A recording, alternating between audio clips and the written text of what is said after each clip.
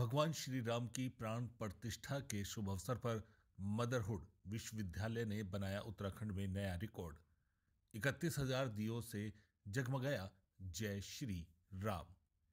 विश्वविद्यालय के कुलपति डॉक्टर नरेंद्र शर्मा और दीपक शर्मा निदेशक प्रशासन ने कहा, हम सभी देश के वासी सौभाग्यशाली हैं कि जो काम 500 वर्षों के कार्यकाल में नहीं हो सका, वह आज देखकर अत्यंत खुशी हो रही है।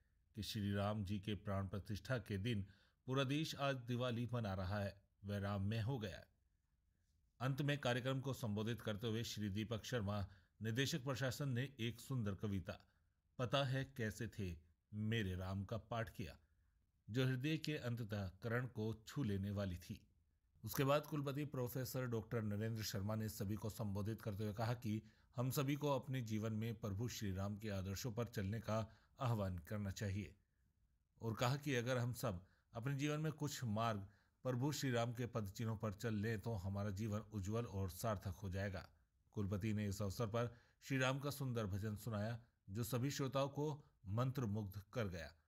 इस अवसर पर सभी डीन, शिक्षक और छात्र उपस्थित रहे। कार्यक्रम का संचालन डॉक्टर दीप शिखा और डॉक्टर स्वाति ने किया।